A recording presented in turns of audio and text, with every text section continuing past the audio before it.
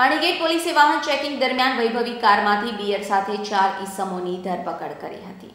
જે અંતર્ગત ગઈકાલે પરિવાર ચોકડી આગળ વાહન ચેકિંગ દરમિયાન પાણીગેટ પોલીસ દ્વારા એક વૈભવી ગાડીને રોકીને તપાસ કરતા તેની અંદરથી એક બિયર મળી આવી હતી. પોલીસે પૂછપરછ કરતા યોગ્ય જવાબ પ્રાપ્ત થતો ન હતો, જેથી પોલીસે ગુનાહિત ભૂતકાળ ધરાવતા જોસેફ વોલ્ટર તથા લાલજીભાઈ ઠાકોર, શૈલેષ રોહિત, રાકેશ મારુની અટકાયત કરી કાયદેસરની કાર્યવાહી હાથ ધરી છે.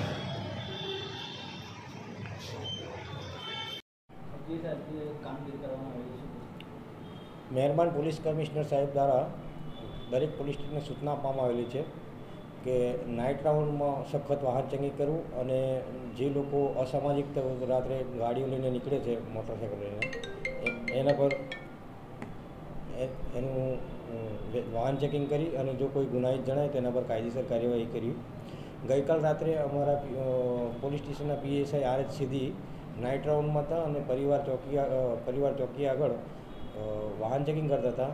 એ દરમિયાન એક હુંડાઈ વરના કાર નીકળી અને રોકતા હુંડાઈ ગાડીમાંથી એક બિયરની બોટ બોટલ મળેલી અને એની સાથે ચાર ઈસમો બેઠેલા હતા. જે ઈસમોથી એક જોસેફ સુનિલ વોલ્ટર કરીને જે છે, એ અગાઉ પણ ગુનામાં પકડેલો છે અને એની સાથે બીજા એક જણ પીધેલા પકડાયેલા.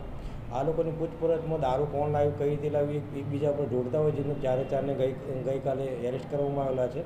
અને એમની દારૂ ક્યાંથી લાવ્યા અને ક્યાં લઈ જવાના હતા, એ બાબતની પૂછપરછ હાલ ચાલુ છે.